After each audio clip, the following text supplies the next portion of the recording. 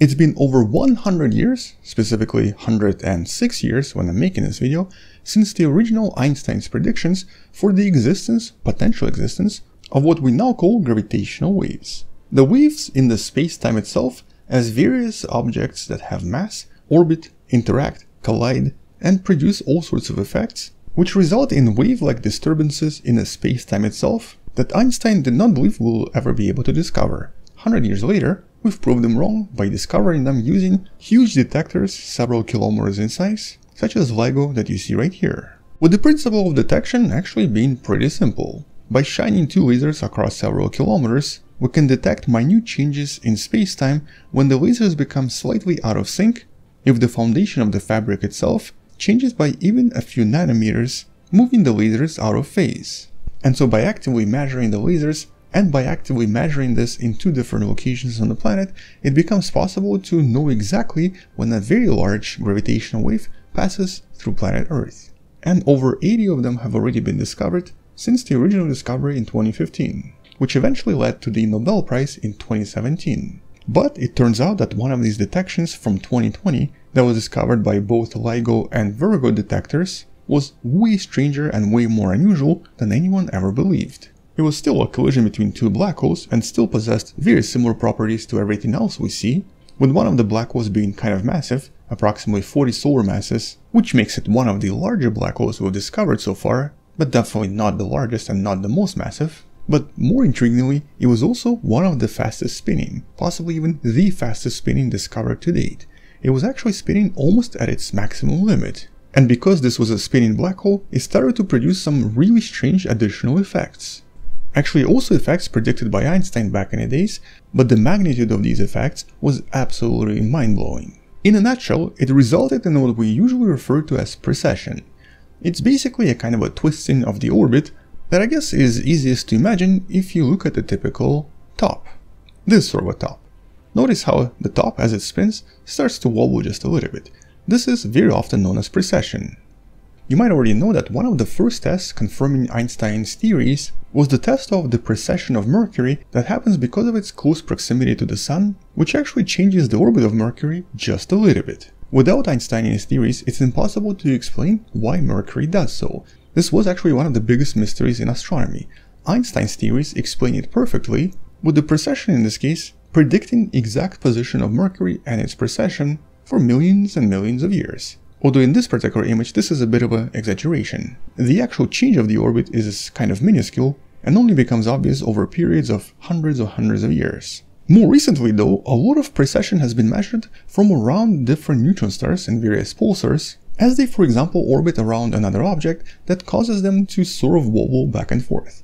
In this case, the wobble is also kind of minuscule, but definitely much bigger than Mercury. As a matter of fact, it's usually visible in just a few weeks or just a few months. In other words, this particular effect is not really that easily detectable unless you measure it extremely precisely for a very long time. One of the most extreme examples known to us from previous detections was from the iconic binary pulsars, where a single orbit takes approximately 75 years to precess. This is the Hulse-Taylor binary as it's also known. And so a single wobble here would be approximately 75 years, and all of this is caused by the Einsteinian theories. But in the black hole binary that collided with the waves detected in 2020, things were much more extreme, roughly around 10 billion times more extreme. According to the scientists behind the study and the simulations they've conducted, this was essentially the most extreme physical event we've ever detected in terms of precession. The entire orbit of these two black holes was wobbling back and forth, precessing several times every single second, which in theory would even be faster than the top I showed you. As a matter of fact, right before the collision, the precession was extremely high. You can kind of see it happening right around here. But this precession is slightly different from the one I showed you with a single object. This is more often known as the Lense-Thirring precession, and you can find a few more links in the description that explain this a little bit more. But in a nutshell, the entire orbit of these two objects starts to wobble back and forth, producing extremely bizarre effects that I guess are kind of difficult for us to imagine unless we look at it in a simulation. So it was basically doing something like this, wobbling back and forth, moving faster and faster, and moving the entire spacetime with it, in this case several times per second.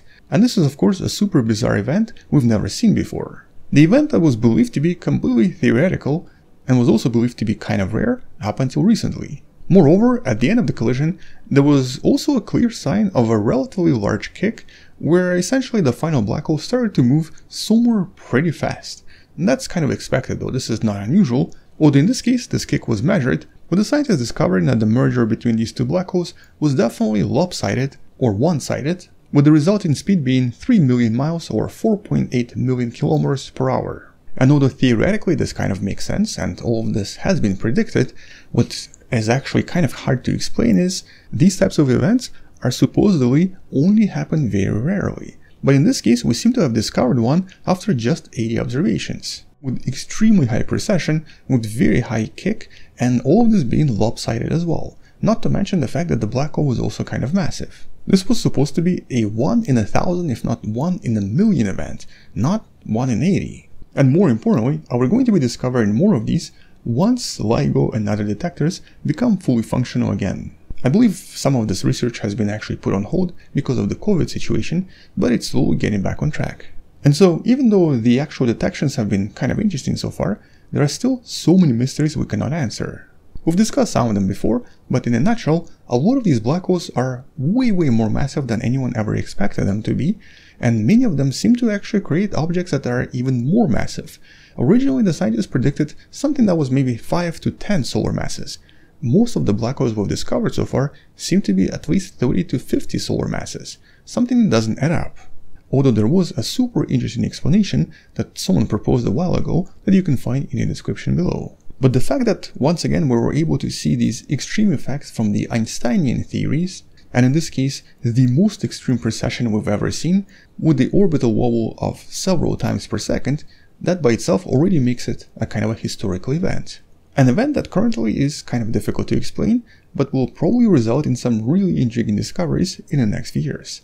And by the way, the link in the description allows you to visualize this and also even hear the event as it happened in real time, although in this case, this was a conversion of space-time waves into the auditory waves that we can perceive. Here's one of them that you can hear right now.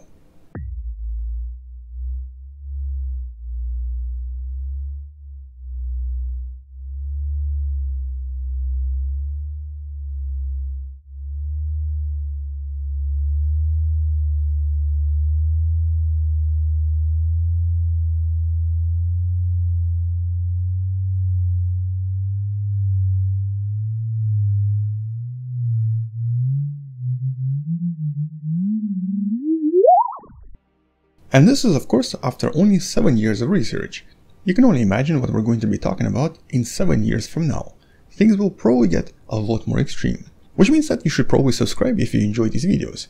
We'll be talking about many more of these in future videos as well. Thank you for watching, subscribe, maybe share this with someone who loves learning about space and sciences, come back tomorrow to learn something else, and maybe support this channel on Patreon by joining channel membership or by buying the Wonderful Person t-shirt that does have a black on it as well. Stay wonderful, I'll see you tomorrow, and as always, bye bye.